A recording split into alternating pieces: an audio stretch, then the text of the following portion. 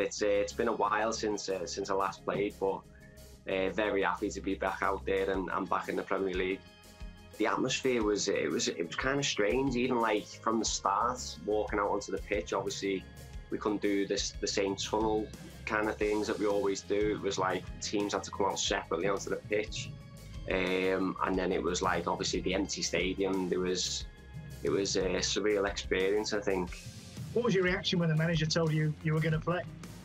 I think I think in shock to be honest. I think obviously since I've signed, um, I've only been in a couple of squads. Um, but I think when it when, definitely when I signed, I knew my position there, so it, it was it was back up for Jack.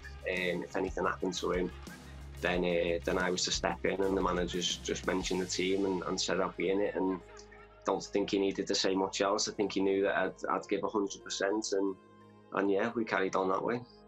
I tried to keep it as simple as possible. To be honest, first game, you don't want to make too many mistakes.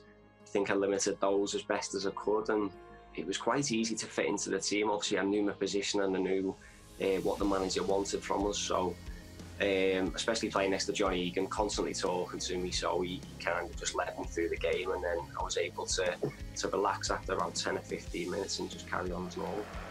And here, here's the history maker, Jack Robinson, 16 years, 252 days. He will be Liverpool's youngest debutant.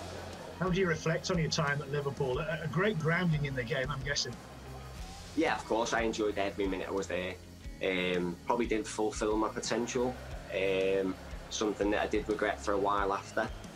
Obviously, leaving Liverpool was, was very tough, but it was just one day took a step back and, and decided what do I actually want to do, where do I want to get back to.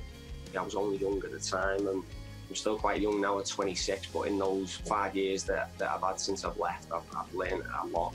I've learned a lot about myself and what I'm capable of. We've set goals ever since then, and I've, I've worked really hard to uh, to try and achieve them goals step by step. But more than anything, it's just more about hard work and, and deciding where you want to be in life and where you want to get to.